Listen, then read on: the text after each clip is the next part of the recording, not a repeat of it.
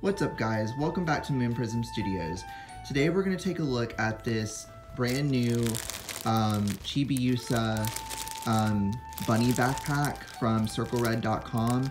Um, for those of you who don't know or might not remember, uh, this is the backpack that, um, or this is based on the backpack that um, Usagi gives Chibiusa in the very last episode of Season 3, Sailor Moon S, which happens to be my favorite season. And um, yeah, so you can get this at circlered.com. I will leave a link in the description.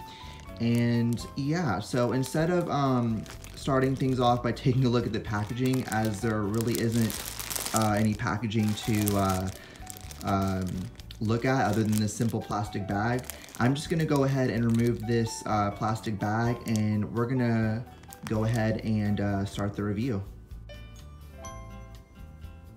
So here we have the backpack all opened up. And I must say guys, this thing is incredibly soft. Like, um, I'm touching it uh, on the ear right here and on the head and it's extremely, extremely soft. Especially these, just the top part of it. Um, it's made of this really soft plush material and it just feels really, really nice. Definitely some pretty good quality going on here. Um, if we go down a little bit more, we have the little collar that's part of the um, dress that Usagi um, used to make this bunny backpack for Chibiusa, as well as this cute blue bow. Um, if we go down a little bit more, we have the little shirt she made, as well as the skirt, which the material, the best way I can describe it, kind of feels like a felt material. Um, I mean, maybe it's a little bit softer than felt, but that's definitely the best way I can describe it. Um, but yeah, definitely um, definitely feels like felt.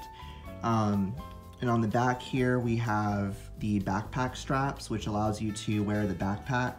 Um, by the way, this would make an excellent cosplay accessory for anybody wanting to cosplay Chibiusa. And um, uh, I believe that this will fit an adult as well as a child. I have not tried this on, uh, so I can't 100% say that this will fit an adult, but I believe it should because it looks like there's quite a bit of slack on these straps, so you should be able to adjust it to fit you. Um, down here we do have an official tag that is included on the backpack that um, also has the Toei animation logo that uh, means that this product is an officially licensed product. So um, that's always a good sign. And at the top here we have the pouch where you can store a few small items doesn't really have that much room.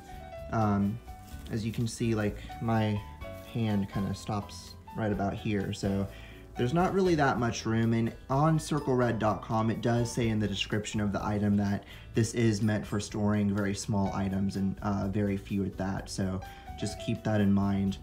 Um, but one thing I wanted to say is if you are cosplaying Chibiusa, you are bound to have one of these, or at least you should. So um, that would be a really good item you could store in here as well because it fits in perfectly.